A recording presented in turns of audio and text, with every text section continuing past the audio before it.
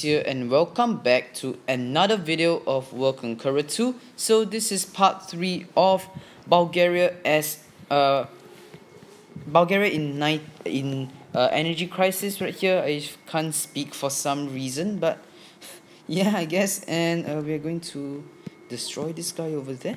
But anyways if you guys haven't seen the previous two parts I strongly recommend that you do so before watching this video but anyways, let us continue on with uh, what we are doing right here. So um, first things first, we've got the French over here that we really need to take care of. And that is not looking too great for us. And because they got the Gaulle over there, so uh, we're going to build a level 4 city right here. And that will mean that we will get quite a bit of income.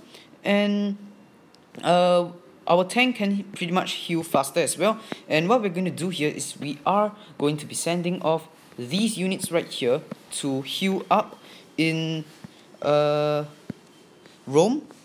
And yeah so essentially what we're going to do here is we are going to be yeah basically just hanging on to dear life at least until we take out the Gaulle right here. Because uh, we should be able to get the supply line in the next round and that would mean that we can restore our commander back to full health. And then taking on the Gaulle will be a lot easier because uh, I'm not sure if any of you know this. Probably you guys do because you guys are so much better than me at like basically everything right now. But if a unit is in water and it attacks it basically kind of suffers a penalty. And uh, basically the attack of the of an enemy of, of a unit right there in water will actually be weakened. So that is the uh, there's the feature right here that we want to be taking advantage of. And that would basically mean yeah a lot of difference. And furthermore in the water all units can only attack once or move once because it only has one movement point. So that would mean the Gaulle would be attacking us once instead of twice like they normally would. So that will be a lot of help for us. And uh yeah so basically the Gaulle right here something that we definitely do want to deal with.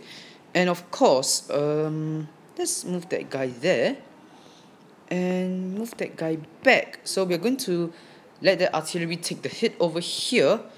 And uh, what we're going to do here is we are going to be yeah we can we will get the supply line the next round. Okay um never mind let's just attack again. Then we will use a supply line now. And all of a sudden yeah our commander has been magically restored back to full health which is awesome right there. And uh, what we're going to do here is we are going to be taking this territory right here and that will provide us with a little bit more income and then uh, we are going to attack that guy uh, chip him down a little bit but we don't want to destroy him because that will mean that the French will be piling up units right there. And basically this half health unit is more preferable compared to a fully uh, basically a full health unit right there. So we want to keep that guy alive right now. And uh, what we're going to do here is we're going to let the tank take the hit over here and we are going to try and chip away at the Gaulle if we can. And the thing is that we have a lot of income now like a lot when compared to when we first started off the game. So that is going to be a lot of help for us. And also we also get uh, we also get some assistance from the Soviets because the Italians have managed to break through over to the Soviets which means yeah that is right we are receiving a lot of help right now, and that will basically be the end of the Italians. Once Graziani goes down, it will be a little long, a little slow, definitely, but Graziani will definitely go down in the end. And what we need to do now is we need to get artillery units to uh, start to attack the French forces because they are really piling up like crazy right now. And we, we, we, we cannot sustain this. We definitely cannot sustain this right now. And uh, they are basically damaging us more than we could actually heal up so that is not really looking too good for us but anyways uh, the Turks are going to yeah they're just going to do their own thing I guess and the Indians are going to fight back against yeah okay it's it's pretty much over for the Indians I guess. The Americans have landed like yeah it, they have landed Nimitz in the Middle East. So yeah it's not really looking too good for them. But anyways uh, we want to take out that artillery. And then uh, we are going to get ourselves an artillery unit right there.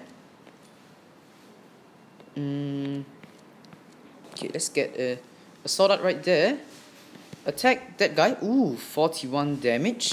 That is a uh, that is definitely something I would take right there. That's a lot of damage. And uh, we are going to attack the Gaulle once again. But this time we are going to be uh, placing an infantry unit down. And we want to preserve the health of our commander right now because well we have we have uh, we used a supply line on him last round. And in this round we have yeah he's been back to half health so that is not really too good for us. So we are going to be using infantry units here to take the hits essentially. And we are going to attack. Ooh that is really great. Um okay now that is not really great. But yeah okay so anyways we've got two infantry units there. So that means that the city won't be reduced to a level 2 and we also want to preferably move a unit up I think. Uh yeah let's move this guy up over here. And we we need to buy an infantry unit at uh, Sofia later uh, in the next round just to make sure that the Italians don't actually capture Sofia from us because that is a significant portion of our income right there. We, we have like three cities I guess. Uh, we've got Sofia we've got yeah okay Graziani is down. We've got Sofia we've got Athens we also got Rome. And we've also got that city just south of Rome. So that is going to be quite a bit of income for us and that will be about not sure but I think it's a hundred about a hundred income. And yeah that is going to be a, a, a, really helpful right there. We definitely need the Soviets to quickly break through over to the French because things are not really looking too good for us right now. And yeah okay the Italians just use an airstrike on us. But yeah we should be able to hold off the Italians and the French because uh yeah we have better units than them that's for sure because we have maxed out uh, the game right here we have basically uh, completed every single upgrade that is uh, the, uh, that is in the game. So that means our units are either on par or superior to theirs. If we com- if we just compare like strictly like infantry to infantry you know you get the idea. It's basically units of the same type. But anyways uh, we are here at round 17 so uh, we are going to attack that guy and we are going to be um, okay let's get an infantry there. And another infantry right there. And we are going to take out that guy. And we also want to take that artillery out because the artillery will be able to attack us without us attacking back which is not too great. And basically the Gaulle right here is going to go down the next turn so we can afford to attack other uh, other places first. And uh, let's move this guy over here and this guy over to here. Just swap over the units because this guy has slightly more health. But uh, let's move this guy up there. Uh, finish off that guy. And we're going to move this infantry up over here to threaten uh, the, the southern flank of the Italians and we're going to keep these units right here uh, in reserve because they also have yeah they don't really have a lot of health do they but anyways uh, this cruiser is healing up so we want to get that artillery out of the way to ensure it doesn't get sniped off by this guy this cruiser right here So, yeah, and we're going to move that artillery up north to fight the Italians. So, yeah, it's going to be uh, uh, quite long before the artillery actually reaches the front lines, but yeah, I guess yeah, that is the best thing we could do with it right now. But the Soviets are going to be taking Bucharest and they will start to overwhelm the Italians. So we could turn our focus back on the uh, like basically the French who are trying to capture Rome from us. And the French still got a ton of units to throw at us and De Gaulle is basically at zero health right now. So that would mean that taking him out is a really easy task and we have successfully managed to defend ourselves and consolidate our control of uh, Rome and the surrounding areas right there. So we have basically secured a W and we can start to move out right now. We just have to defend from the landing force and then we will be set because uh, we will start to move north towards the uh, towards the border and we will start to you know really deal a lot of damage to the French. Okay so the Gaulle is down. We've got two rounds I think. And what we are going to do here is we are going to be okay no ace forces this time. So um yeah that cruiser just moved and I am not very happy about that but anyways uh, we're going to attack that guy. And we can afford to lose an infantry unit here that is fine. But uh, let's attack that and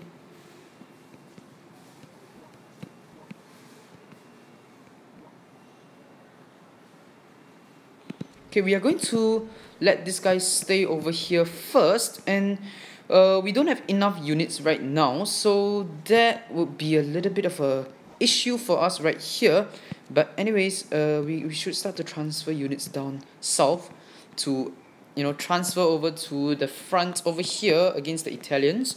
Because now that Soviets have taken uh, Bucharest and they are starting to move a huge amount of units into the front lines right here uh, Sofia is that means Sofia is actually safe from the Italians. And that means we could focus on the, the Italian front right now. And we, we, we will focus on just containing the French uh, and ensuring that they do not land because once they land they will be a lot harder to contain. So we want to keep that in mind. And yeah so the Soviets are going to continue to move. And we should be able to start to move our commander north in the next round. And there we go. The Americans have landed everything again I guess but yeah okay the French are going to try their best and they're probably going to fail at it but uh, the Chinese are going to go uh, like capture a whole bunch of territory in Africa so yeah and guess that's really good I guess and the Poles are just like doing nothing I guess. And it's quite surprising that the North Koreans and the Romanians have actually not been defeated. They are still kind of like just hanging there just like right there by like I don't know you know they both have like one territory like one one piece of land left but we are going to uh, start to destroy all of these units right here. And what we are going to do here is we are going to get an armored car and we are going to move into Milan uh, move that tank over there. And we are going to be buying another artillery unit. And okay uh, we can't move that guy there because he will get absolutely destroyed by uh, the Canadian and the French you know units right there. So yeah actually I should move that infantry there then move there but that is fine. Um let's just move one infantry unit there. And we're going to leave that guy over there in Sofia because I am a paranoid man right here. And I really really scared that somehow they would actually make it and capture Sofia from us. Although that is probably impossible right now. But I am not going to take any chances ever since uh, we played as Yugoslavia in 1939 and for those of you who haven't watched that video, essentially the Italians used a paratrooper to get behind our front lines and capture Belgrade from us when it is undefended. And that is a yeah, it, it was a fun experience because the income really literally just dropped by 100% right there, like basically 100 and yeah, so after that incident I'm I'm just kind of like man, I'm, I'm not going to be taking any chances right there. And looks like the Americans have taken back Cairo. So yeah, it's not really looking too good. But anyways, uh, the French are going to start to attack us as well. But we've got our tank, which means yeah, the French have, are going to have a lot of issues in containing us. So yeah, uh, but the Chinese have also lost Cairo as I've mentioned like five seconds ago. So yeah, it's not really looking too good for them right now. And that would mean that the Americans actually gain a source of income, like even more income, like more than they already have, which is kind of scary to be honest, because the Americans can really start to pump out units right here. And uh, what we are going to be doing here, however, is. Hmm, Okay, so uh, we are going to use the Soviets right there to clear away for us and they are going to capture this territory and they're probably going to attack Zurich, but that is fine. We just want to make sure that they don't try anything funny essentially. And uh, let's just okay attack that guy. Uh, attack there and they've moved into position to block us. And that is definitely not appreciated right here. And that would also mean that we have to move all of our units back over here in case they they, they get destroyed by this guy over here. Um, I may have made a, a, a mistake right here. Should have sent those uh, those infantry units into the sea and uh, somewhere there? Yeah we make mistakes sometimes I guess and infantry there infantry there and move that guy there. Uh, finish off this guy and there we go. So uh, we've got this airport right here that we have to worry about. So um, yeah and we are going to take that airport because I'm really afraid right now that the Italians will in fact try something funny as uh, as in the previous playthrough with uh, Yugoslavia right there. So yeah, once again, definitely not going to be taking any chances whatsoever.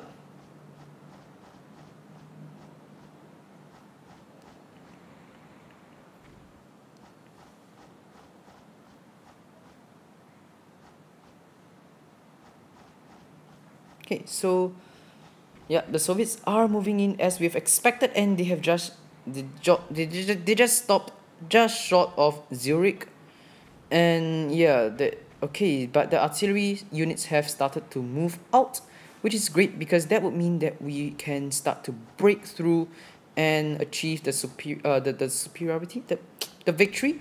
And yeah so the chinese are going to retake cairo which is definitely great and yeah the indians are going to yeah.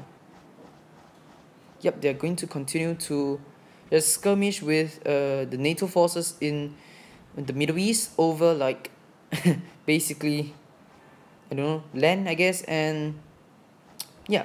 Considering there is an energy crisis i would expect it to be oil because well the middle east is full of oil and you know there is yeah yeah that's that's that. And uh, now we can start to you know we have taken sardinia and corsica. So um yeah that guy right there yeah he's re- really being a nuisance right now the canadians. And what we can do here is we can um, move this guy over here. And even if this infantry unit lands in sicily that is all fine by me because well yeah and essentially we are going to take that and we are going to move there. Then we are going to attack. So uh, we are going to be using an assault right there and we are going to be attacking the artillery and we have successfully cornered the French forces into Zurich right there so yeah everything's all going fine and well. Uh, let's finish off that cruiser. And we are going to uh, end the turn right now. So now that we have secured uh, Europe it is time to start to attack Africa. And once we oh, uh, once we uh, uh, capture Sicily that will provide us with an excellent base to attack and uh, land in Africa and basically just win the game yep and there we go. Zurich has fallen. And that would also mean that the French threat has ended. And now the Americans are going to yeah they're going to do their thing. And the Italians are going to try and take Sardinia back.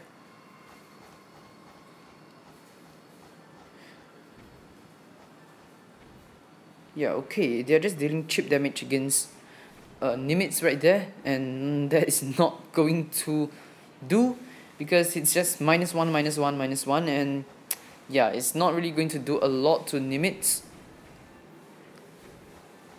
yeah but the Canadians are going to right we're at round 22 so I guess this will be the last round before we end of this video but we have actually managed to get the French like we have actually managed to defeat the French which is actually really impressive right there. And uh, what we need to do now is to get a city right here. And we're going to start to spawn infantry units. Uh, there. Move that guy there. And we are going to move another infantry unit there to take the hit basically. And yeah okay. Fine. Sure. You do you and we're going to move this guy over there. So uh let's just finish off all of these units right here in uh no actually never mind. We can't finish those units off. But uh let's actually just get an industry over here. And we are going to be ending the turn. So the reason for getting that industry is because number one, I, I want to be able to spawn units in the south of Italy.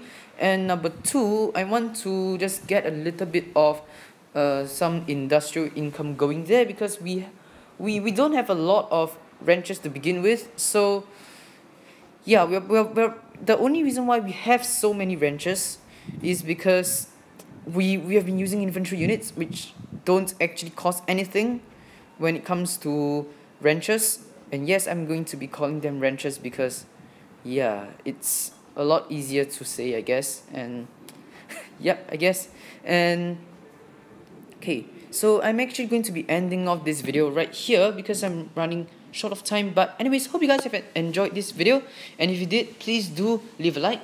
And if you are new to this channel please do remember to subscribe as well. But that's it from me for the time being. So Thanks for watching this video.